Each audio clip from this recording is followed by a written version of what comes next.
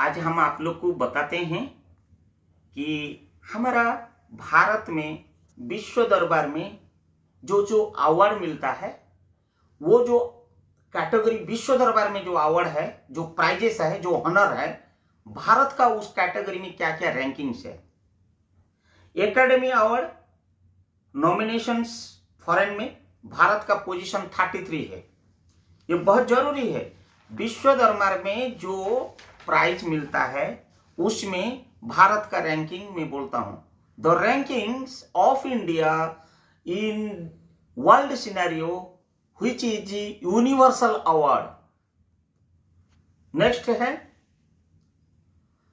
Nobel prizes ये भारत का position अभी डिटेल बता नहीं सकते हैं, लेकिन nine Nobel prize winners in India so far ये आप लोग को पता होनी चाहिए।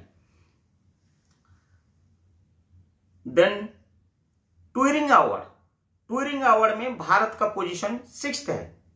इसकी सोर्स जो है association for computing machineries and last जो वर्ल्ड सीनरी में जो होता है वर्ल्ड हेरिटेज साइट्स इसमें भारत का पोजीशन सिर्फ़ एक नंबर इसलिए हमारा टूरिज़्म बढ़ावा बहुत हाई है।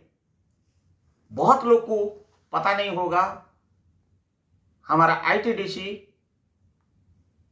स्टेट टूरिज़्म कितनी स्ट्रेंथनिंग है। हम सारा विश्व दरबार में भारत एक रिपब्लिक कंट्री होने के बावजूद भी एक नंबर स्थान ग्रहण करता है वर्ल्ड हेरिटेज साइट में। हमारा धरोहर इतना सुंदर वातावरण, सौंदर्य में भरा हुआ है। शायद आप लोग को कितना पता होगा, नहीं होगा। आइए हमारा एनवायरमेंट के बारे में भी उसी के साथ में बताना चाहूँगा। कार्बन डाइऑक्साइड एमिशन में बाय द कंट्री तीसरा पोजीशन में है सीओ टू में। Carbon dioxide emissions per capita 145 position में है। ये बहुत ज़रूरी है, क्योंकि आज की दौर में ग्लोबल वार्मिंग जिस प्रकार चल चल रहा है क्लाइमेट चेंजेस में परफॉर्मेंस इंडेक्स में 2020 में जो हुई थी, उसी में भारत का पोजीशन टेंथ पोजीशन था वर्ल्ड सिनेरियो में। एनवायरमेंटल परफॉर्मेंस इंडेक्स में 177 है। एनवायरमेंटल डेमोक्रेसी इंडेक्स में भारत की पोजीशन 20 है। एयर क्वालिटी एवरेज में पीएम में 2.5 कंसेंट्रेशन में भारत का रैंकिंग सारा विश्व दरबार में 84 स्थान है। फ्रेश वाटर विदड्रल में भारत का पोजीशन एक नंबर एक नंबर फ्रेश वाटर में, एक number. And irrigation land area में दो नंबर सारा विश्व में। And global climate risk index में भारत सेवेंथ पोजीशन में है। आइए आप लोग को ये महत्व जानकारी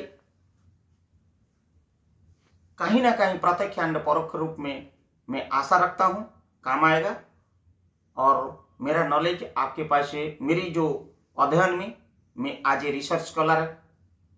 मुझे जो संज्ञान में आया, आप लोग को मैं साझा कर रहा हूँ। Hope you will utilize it and enjoy it